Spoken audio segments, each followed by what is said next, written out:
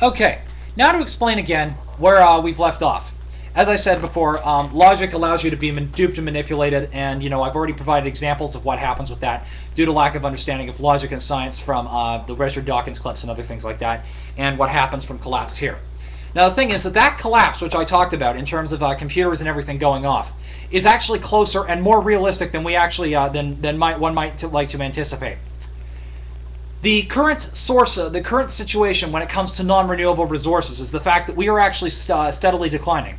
According to Infomine.com, which is the global uh, source for uh, resource, uh, the global uh, source for re, for resource management, um, you know, um, apparently in the last 15 years, we have seen a dramatic increase in U.S. dollar per pound of copper, iron, nickel, and aluminum. The four most, the four most basic essentials for um, for modern day society. Iron and nickel, of course, uh, uh, um, you know, mixing with carbon to form steel. Um, without copper, you don't have power lines. Without iron and steel, you don't have trucks. You don't have you don't have industrial molds. You don't have mechanical pieces. You don't have the basics for modern uh, for modern industry. You need metal like this in order to be able to do it. Aluminum. Without aluminum, its substitute, you don't have a metal basis for society. Without it, technology grinds to a halt. There's always a metal component somewhere in there. And here's the problem. We are, like I said, we're running out of resources. Based on best available analyses, within 50 to within 50 to 100 years, we will be out of metals completely. This means as follows. Not only is this a little uh, blurb to uh, the, uh, the, little blurb which I quoted here, um, again, which was called, uh, uh, where is it here? Uh, Living in a non-digital world.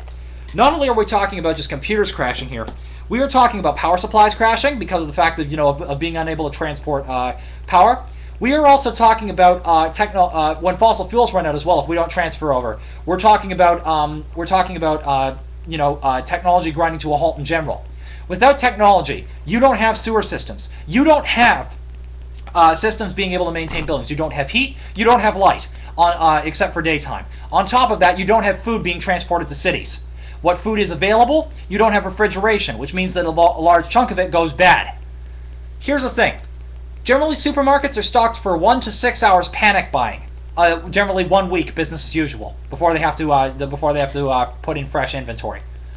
Here's the thing: if food actually starts to go out, not only are you going to be dealing with riots, when people are starting for cities which are a long way away from country uh, from country, you might have mobs of people going out of the cities trying in search of food in the country. But what do you think the bulk of the people in the city are going to do? Mass riots when there's lack of food and medicine. You know, uh, large amounts of people in similar areas, you're going to get typhoid, you're going to get cholera, you're going to get dysentery, you're going to get diseases because of the fact that people are living in their own piss and shit. On top of that, you're going to have one other problem. There are a small minority of people in the world, the Jeffrey Dahmers the like, who, when they are caught without food, will resort to cannibalism. And when people figure out that each other is food, they are going to start coming after you which means you would better be damn sure that you've got your house boarded up, that you have got, uh, you know, you better make sure that you've got your house boarded up, a good supply of gasoline uh, available if you're, you know, if you don't want to, uh, uh, if you don't want to do something to fight this. Um, you know, and a good supply of food because other and, and a way to defend yourself because chances are you will be dealing the, the, the whole zombie films which they talk about with George A. Romero. Yes, I know they seem like science fiction, but believe me, zombies they're not they're not they're not as fictional as you might think, and they're not after your brains. They're just simply after you. They're after what you own. They're after. They're um, they're after your food. They're after your supplies, and they're after your life. And the only times that they're after that, and they're not even dead people or walking, you know, paranormal or anything like that. They're nothing supernatural. They're just simply you and me every day. The capacity of people to kill when we revert back to our animal instincts because society has collapsed. Do you understand what we're dealing with here? Without technology, we're dealing with this. We are also dealing with a 5 billion uh, we are also dealing with a, a techno-ecological crunch, which will kill off 90% of us. Here's another thought.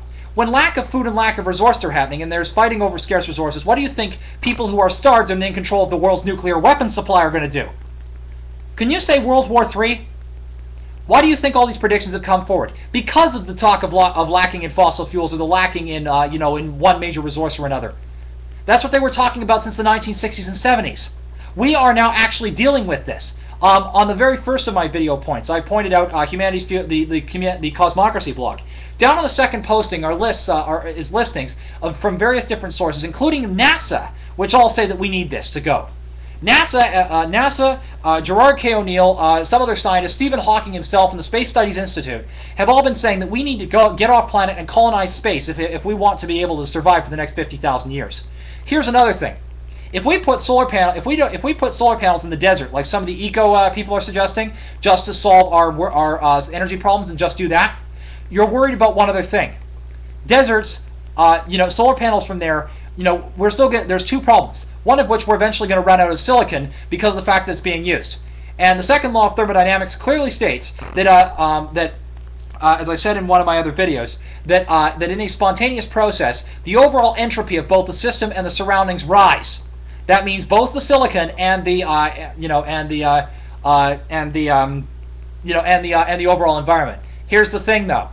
Sil a spontaneous process means non-reversible which means that it actually takes more energy put back in to get less amount of product back out of the original reactant. Which means that, and this goes for recycling of metals, recycling of uh, a large chunk of plastics, recycle. Well, actually, you know, pla uh, plastics. Uh, you know, it varies a little bit depending on the particular organic compound. You can sometimes get at equilibrium. Um, you know, particularly recycling uh, silicates and other, you know, raw metal, uh, you know, raw materials like these you're having to fight again, you know, putting more and more energy in to get less and less back, which means again technological gear down and eventually the technological crunch. So even with recycling, we might be able to stave it off by another 10 years, 10, 20 years max, maybe even another 50. You know, we ba- you know basically expanding the technological ecological crunch from 100 to 150 years. But even then, it would still happen. If we colonize the asteroid belt, there's enough resources there in terms of metals, silicates, carbides, and other basics for uh, for life and uh, you know other basic elements for life and for uh, technology.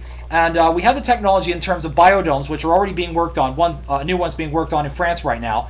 Um, we've got the technology to, uh, you know, to economically, uh, uh, you know, do interplanetary space travel in the form of rail guns and other stuff like that, which are still being used on small scale.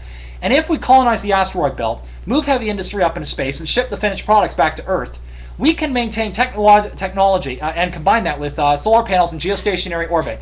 We can combine, we can maintain the entire the, the, North American standard of living on the entire uh, brought to the entire population of the planet, all six and a half billion of us, with environmental with you know with with zero pollution of the earth, or with you know with effectively next to zero pollution of the earth, barring you know human waste.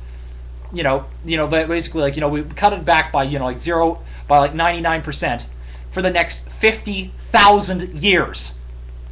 And yes, people are going to go like, oh, it's too expensive to move up into space compared to what? The techno-ecological crunch and the and the human and the collateral damage. And here's another thing: it would take about three trillion dollars in terms of information, you know, in terms of industrial, uh, you know, expansion, you know, in terms of all the R and D and getting it all into major scale to even get the first colony on one of these uh, on one of these asteroids. The current the current estimated value, uh, you know, just in raw resources, is fifteen trillion dollars. If you do the math, that means that's a $12 trillion profit to the person who does the investment and gets a first colony on the first asteroid. The pro, the yes, the um, yes, the yes, the uh, yes, the amount of uh, money going into this is is mind-boggling for you know for expenditure to do this. Yes, it's expensive. Yes, it's not small. Yes, it may require you know casualties along the way, you know a few, but saving billions in the process you know, but saving billions in the process and the profits back from it and the uh, you know and the and the benefits coming back from it are astronomical, literally. They are beyond, you know, you know, imagine mind-boggling, bog, imagine mind-boggling in terms of the concept of the trillions of dollars that you'd have to spend to get these benefits. The trillions upon trillions beyond that would blow your mind.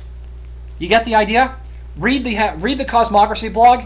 Read the uh, re, uh, watch the videos I suggested. Read tomorrow's Technology and You read the references, watch my other videos, uh, read the references I posted in the global warming videos and the other stuff like that, the chemistry textbooks, read the science textbooks, get yourself a good dose of calculus as well to be able to understand what we're talking about. Get yourself a good dose of the critical thinking fallacies, uh, you know, of understanding of critical thinking errors and, uh, you know, how math can be manipulated and the like. And more importantly, learn how to think tangentially and learn how to connect the information that you are getting from your life to everything else in your life. Because chances are, and, and whatever you do, try to avoid compartmentalization. Because compartmentalizing can lead to irrationality in one area, but rationality in another. You know, people who might seem perfectly rational about your day-to-day lives are the same type of people who can believe in this sort of stuff like the psychic surgeons and be more than willing to go, uh, um, you get my idea. Toodles.